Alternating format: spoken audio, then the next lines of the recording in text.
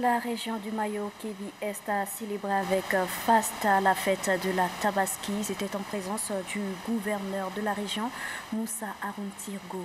Un reportage d'Aleyomo.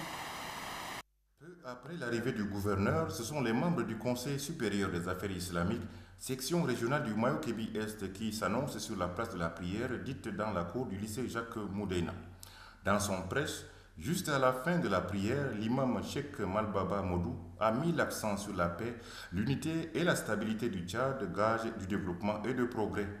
Aussi a-t-il prodigué de conseils avisés aux fidèles musulmans d'être exemplaires dans leur milieu de vie en prenant la solidarité, le partage et la tolérance. La prière terminée, les membres du Conseil supérieur des affaires islamiques sont allés chez le gouverneur pour lui présenter leurs vœux les meilleurs de bonheur, de santé et de longévité et à travers lui au chef de l'État Idriss Déby Itno pour ses efforts inlassables en faveur de l'amélioration des conditions de vie des populations et de son engagement sans faille pour la paix au Tchad et en Afrique. Le gouverneur Moussa Haroun Tirgo les a assurés qu'il transmettra les vœux à son illustre destinataire. Le gouverneur leur demande de travailler chaque jour à la consolidation de cette paix acquise au prix de lourds sacrifices. Sans paix, pas de développement, déclare Moussa Haroun Tirgo, en les appelant à contribuer chacun dans les efforts de la sécurisation de la région. À l'occasion de la fête de la Tabaski, toujours une grande prière à laquelle a pris part le gouverneur de la région du Logon occidental a été dite à la grande mosquée de Mundou. Les détails avec Ahmad Ali Senamat.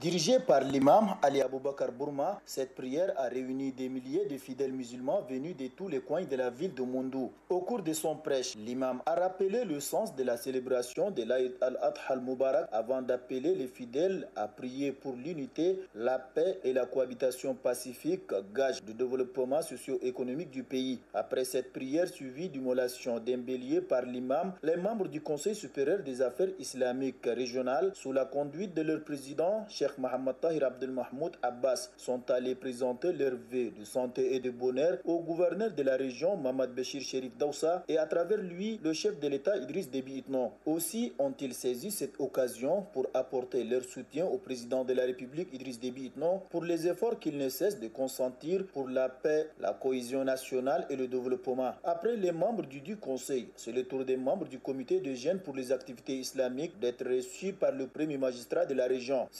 Ont, à travers la voix de leur président Tahir Hassan Dahab, félicité le gouverneur pour ses efforts ayant permis d'enrayer l'insécurité et d'instaurer un climat de paix et de cohabitation pacifique dans la région. Répondant aux vœux de deux groupes, le gouverneur du Logon occidental, Mohamed Béchir Sherif Daoussa, a salué la contribution remarquable des hommes de Dieu dans le maintien de la paix et la cohabitation pacifique. Selon le gouverneur, le Tchad est certes en paix, mais les défis sécuritaires demeurent. C'est pourquoi il demande aux hommes de Dieu de continuer à prier pour préserver la paix chérébin acquise, mais aussi pour surmonter la crise économique dont fait face notre pays. Je ne suis pas seul à accomplir une mission de, cette. Je, dis ça à tous mes collaborateurs, surtout aux hommes de sécurité, ainsi que tous mes collaborateurs, vous-même, nous allons continuer. Une sécurité n'est jamais un fait pointiel. C'est quelque chose qui consiste à entretenir, à veiller tout le temps. C'est exactement comme la religion. On ne peut pas faire aujourd'hui et cesser demain. On ne peut pas dire qu'on a beaucoup fait et on s'arrête. Non, on continue tous les jours. Le gouverneur a exhorté la population à continuer à collaborer avec les autorités et les forces de défense et de sécurité pour barrer la route aux ennemis de la paix. Le ministère de l'élevage et de la promotion animale, à travers le projet régional d'appui au pastoralisme au Sahel PRAPS, a organisé le 28 août dernier à Fada, chef-lieu de la région de l'Enedi Ouest, un atelier de formation sur les normes et directives pour l'aide d'urgence à l'élevage. Les travaux ont été présidés par le secrétaire général de la région de l'Enedi Ouest, Abdel Hadi Mahmoud Saleh Babayaro. C'est pour renforcer la capacité des acteurs et des experts en élevage et spécialiser les humanitaires pour contribuer à sauver des vies et des moyens de substance au sein des communautés d'élevage que se tiennent ces échanges. Des échanges qui ont été par les projets régionaux d'appui au pastoralisme au Sahel PRAPSCAT et financé par la Banque mondiale. Les responsables de la composante 4 de gestion des crises pastorales situent les buts de cette formation.